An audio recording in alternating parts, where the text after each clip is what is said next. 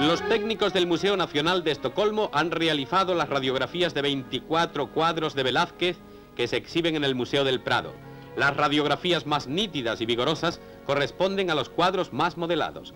Con ellas se demuestra que a medida que crece en maestría, Velázquez utiliza una materia más delgada y fluida, más tenue y transparente. Así se ponen de manifiesto las primeras manchas de las obras, sueltas, ligeras y seguras, así como la constante exigencia de perfección de Velázquez. Este enmendaba y corregía sus cuadros una y otra vez, incluso después de pasados varios años, como lo prueban las rectificaciones observadas.